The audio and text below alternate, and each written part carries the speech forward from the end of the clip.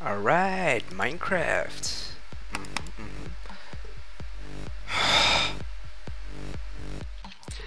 God damn it! Alright guys, uh. Razor here. If you guys are having the same problem as I have, I have the solution for you guys right here in this video. It's a plugin, or it's a mod for Minecraft that just came out yesterday I think, so it's gonna be pretty good. Uh, this is not gonna bother, bother you anymore so check this out. Hello guys. I'm back from my horrible introduction. Uh, the first the first thing you need to do is go to this site. There will be a link in the description to download this little quick fix for the invalid server key. Um, when you download it, you can just save it to your desktop or wherever you like. It doesn't really matter since we're gonna drag it into another folder just in a few seconds.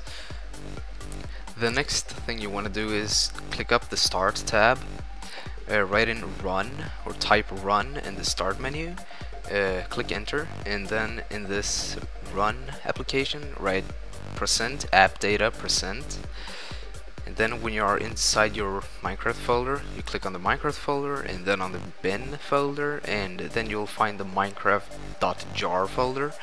Um, there will be a WinRAR link in the description too for you to download that if you don't have it because it's an easy program it's easy to it's, it's easy to work with and it's probably one of the best folders or folder applications I guess. So the first thing you need to do is drag into drag in your apb.class thing to this minecraft.jar folder. The second thing is go into the there we go the meta uh, sign inf I don't know what that sign is called but whatever. Uh, when, when you're in here you need to remove the both of the mo mojang folders or files, not the manifest. If you remove both of them and you have dragged in the uh, apb.class file into the minecraft.jar, the only thing you need to do is start up Minecraft and everything should be working as normal.